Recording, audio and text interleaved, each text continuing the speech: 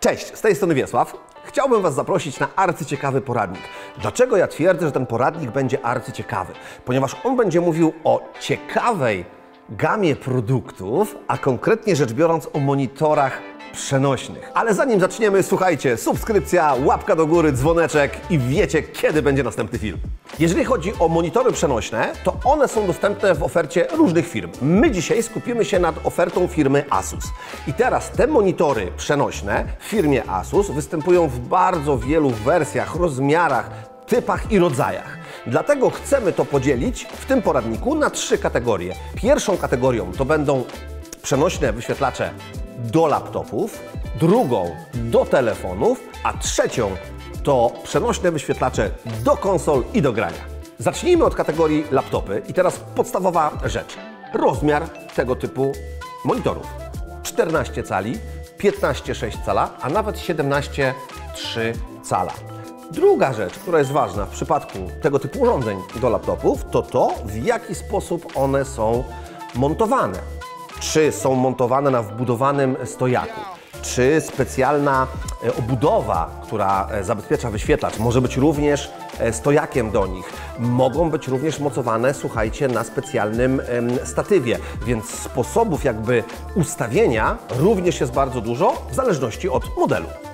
Sposób zasilania. No nic prostszego. Podłączamy ładowarkę pod USB-C. Są również dostępne modele, które mają wbudowaną e, baterię, a najprostszym sposobem to wziąć laptopa z USB-C, podłączyć kablem do monitora przenośnego i tym przewodem, jeżeli USB-C w laptopie oferuje tak zwany power delivery, zasilamy to urządzenie.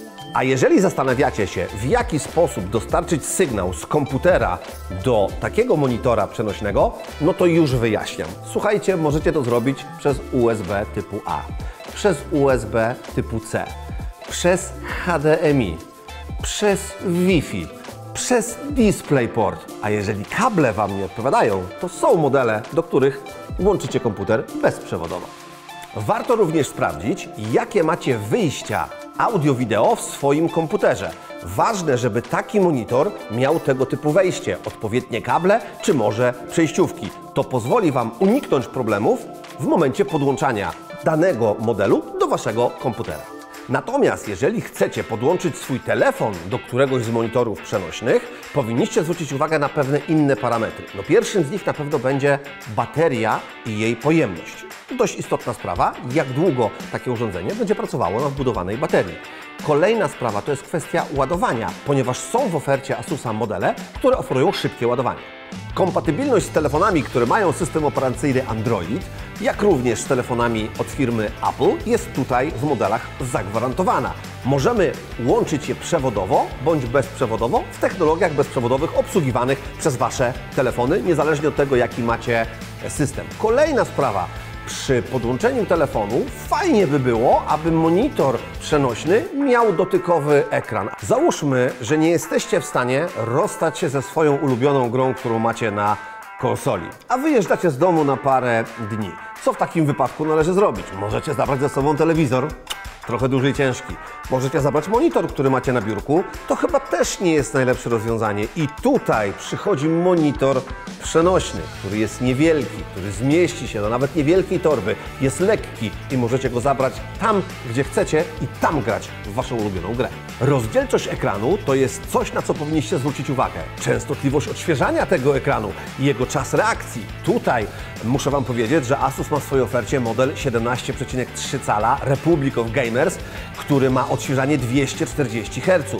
Na pewno taki monitor, który chcecie sobie kupić do konsoli bądź do komputera, musi mieć wejście HDMI. To jest bardzo istotna sprawa. Wbudowane głośniki na pewno są dobrym dodatkiem, a wyjście słuchawkowe pozwala Wam nie przeszkadzać nikomu, kto jest w tym pomieszczeniu w czasie, kiedy Wy będziecie grali.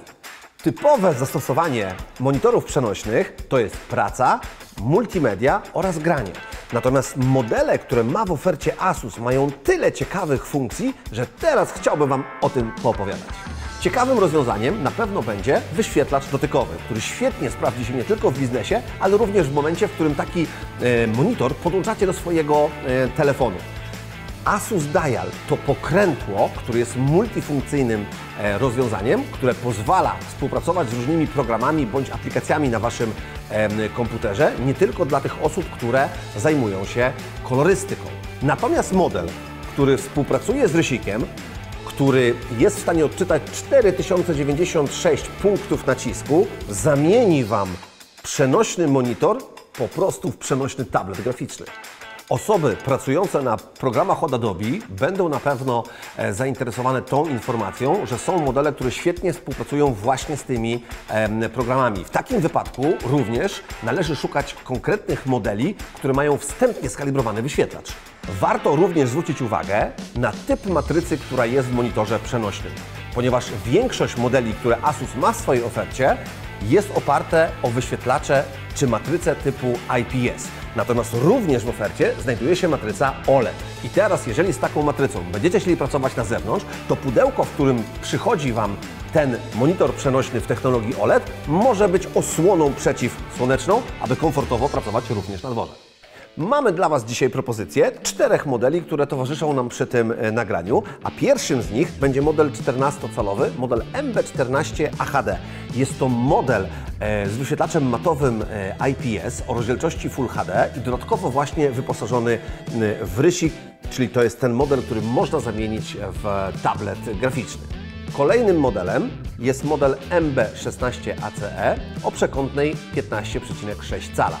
Mamy tutaj do czynienia z matrycą Full HD IPS, która jest matrycą matową, natomiast główny protokół do komunikacji z e, komputerem to port USB-C. Kolejnym modelem jest bliźniaczo wyglądający model, czyli model MB16AHP. I jak widzicie, tutaj design jest bardzo e, zbliżony. Mamy również taką samą przekątną, mamy również taką samą em, rozdzielczość, natomiast wejścia w modelu AHP są o piętro wyżej od modelu poprzedniego, ponieważ tutaj mamy już wejście mini HDMI, a dodatkowo do komunikacji z komputerem bądź naszymi telefonami mamy aż dwa wejścia USB typu C. Na koniec zostawiłem model bardzo ciekawy, czyli MQ16AH. Co się kryje pod tym symbolem? Otóż kryje się monitor przenośny firmy Asus, zrobiony w technologii OLED. Smukłość tego wyświetlacza jest po prostu rewelacyjna. Jakość obrazu na OLEDzie, czyli nieskończony kontrast, czerni, kolory, kąty patrzenia, czas reakcji na poziomie 1 milisekundy, opakowanie, w którym przychodzi do Was ten monitor, może być jego osłoną przeciwsłoneczną, jeżeli używacie go na e, zewnątrz, a czujnik, e, który bada, czy na niego patrzycie, powoduje, że jeżeli odejdziecie od tego monitora, jego wyświetlacz będzie przyciemniony, aby po prostu oszczędzać energię. Słuchajcie, w tym filmie dowiedzieliście się mniej więcej, czym charakteryzują się poszczególne modele monitorów przenośnych. E, tak się składa, że ja w tej chwili te monitory mam zamiar zabrać do siebie do domu na parę dni, aby sprawdzić, co w nich drzemie, jeżeli chodzi o takie codzienne em, użytkowanie. I ten film e, z tego użytkowania e, znajdziecie mniej więcej tutaj. Ale jeżeli już teraz jesteście zdecydowani na któryś z omawianych modeli albo inny model monitora przenośnego, zdecydowanie polecam szukać tych monitorów w sklepach stacjonarnych Media Expert, jak również na mediaexpert.pl. Dzięki bardzo, mówił Wiesław. Cześć!